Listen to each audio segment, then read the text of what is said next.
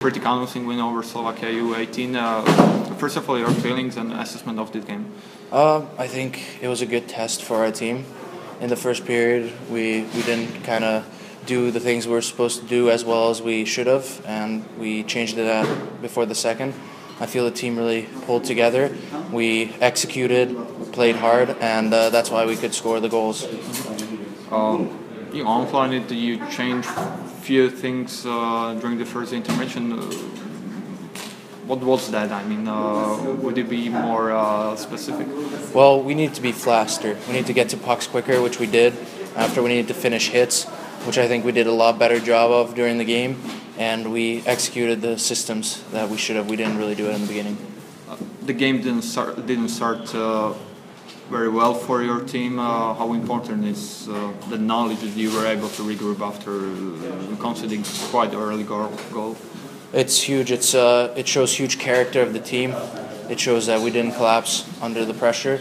We just kept going. We understood what needed to be done. We didn't worry about the score. We were just worrying about doing our things, doing everything right, and look up at the scoreboard in the end, and that's the result.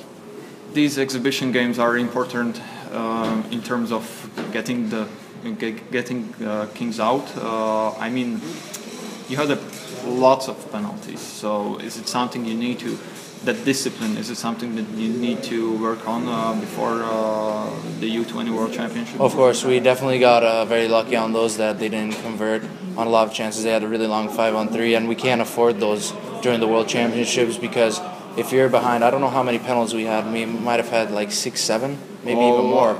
I'm not so, sure too, but I wouldn't be so surprised if, if, it, uh, if it's if 10. It is, uh, yeah, so if you're if you're on the shorthanded for 20 minutes, it's it's really hard to win games.